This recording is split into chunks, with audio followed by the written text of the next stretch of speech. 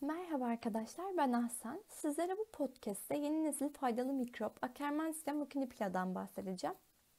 Obezite ve metabolik hastalıklar günümüzde yaygın olarak görülmektedir. Bu sorunlarla baş eden insanlar gitgide artmakta ve çareyi ameliyatlarda, ilaçlarda, cerrahi bir takım girişimde bulmaktadır. İşte tam da bu noktada yakın zamanda keşfedilen bir mikrop belki de bu soruna çare olabilir. Mide bağırsak sistemi vücudumuzda solunum sisteminden sonra en büyük yüzey alanına sahip sistemdir. Bu sistemde meydana gelen değişiklikler genetik, çevresel, beslenme, ultraviyole ışınları gibi pek çok faktöre bağlıdır.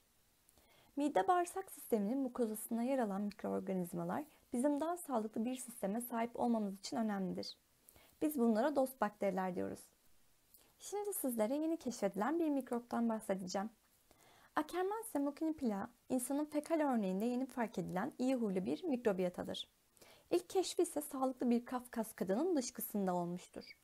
Amerika'da yapılan biyolojik kökenli çalışmalarda aslında insan dışkısının %1'ini oluşturan bir bakteri olduğu saptanmıştır. Bağırsak mukozasında bol miktarda bulunduğu 2004 yılında Muriel Darian tarafından saptanmıştır. İlginç bir yanı ise anne sütünde de bulunuyor olmasıdır.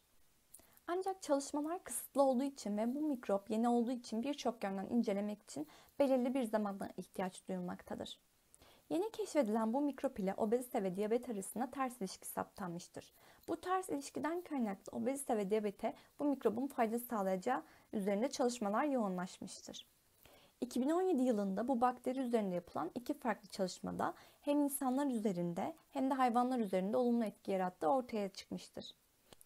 Bu mikrobiyatanın en önemli etkisinin mukozalar üzerinde olduğu da bu araştırmalar sonucunda saptanmıştır. Bu mikrobiyata çok yeni keşfedildiği için en iyi gözlemlenen etkisi obezite ve diyabet üzerine olmuştur. Daha çok bu yönde deneyler yapılmıştır. Deneyleri inceleyecek olursak ilk olarak fareler üzerinde yapılan araştırmalara baktığımızda obez fareler, diyabet olan fareler ve sağlıklı fareler üzerinde yapılan araştırmalar sonucunda bu mikrobiyotanın sağlıklı farelerde daha çok olduğu saptanmıştır. İnsanlar üzerinde yapılan araştırmalarda da benzer sonuçlar elde edilmiştir. Diğer bir çalışmada obezite üzerine baktığımızda sağlıklı beslenerek spor yapan insanlarda bu bakterinin fazla olduğu belirlenmiştir.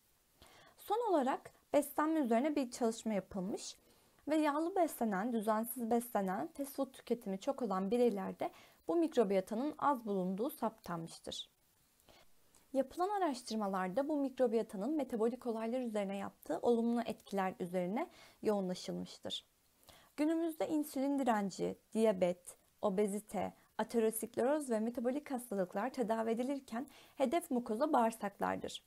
Akkermansia mucinipla'nın bağırsaklara yönelik kullanılan ilaçlar için devrim niteliğinde bir keşif olduğu da ortadadır. Sonuç olarak yeni keşfedilen bu mikrobiyata sağlık üzerinde birçok tedavide önemli yer edinecek potansiyel bir bakteri rolünü üstlenmiştir. Beni dinlediğiniz için teşekkür ederim.